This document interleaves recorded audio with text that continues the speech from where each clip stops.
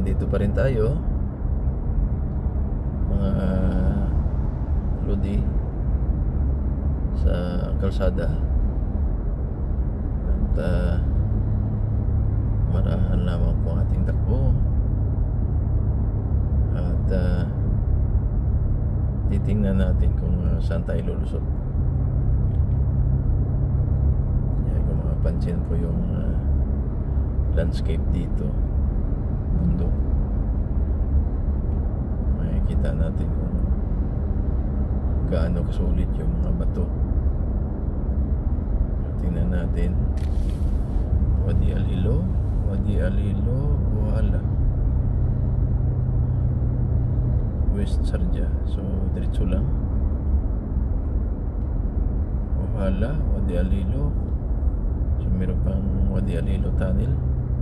Tayo ay diretso. Alright.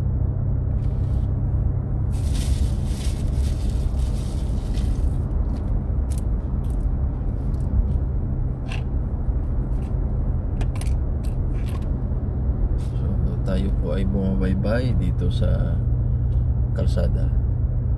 So mapapansin nyo po yung highway dito.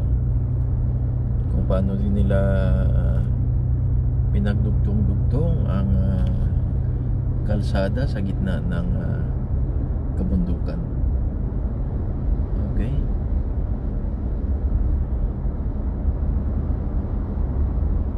Kasi itong mga bato na itong mga lodi, ito po ay mga buhay na bato. Ah, talagang mga sulit sila na kahit pinapatag na kung ilang taon ay tumutubo pa rin.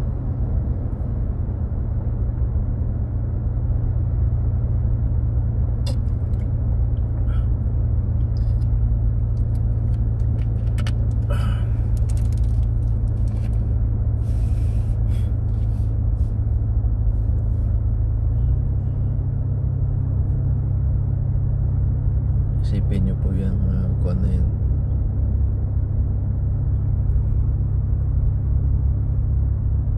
Paano yung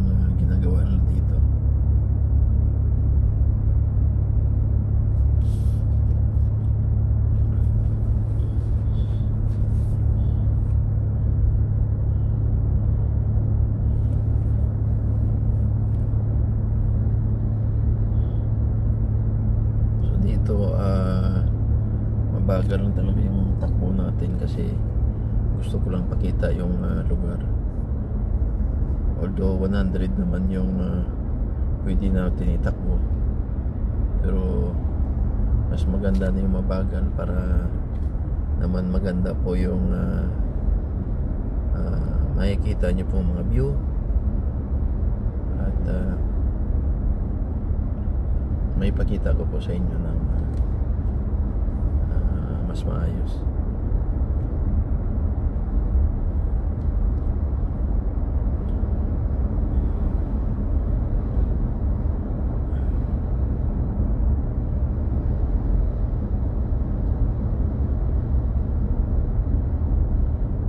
So, andito nga. Ah, pero, sa lugar na ito ay magkakaroon na rin ng ah, train. Ah, lalagyan nila ng ah, train itong lugar na to. Ah, at ah, magbubutas sila ng mga panibago yan dito sa mga bundok. Bundok na bato so kahit gaano pa kakapal yan. Ah, kayang-kaya yan mga ah, machineries nila na dito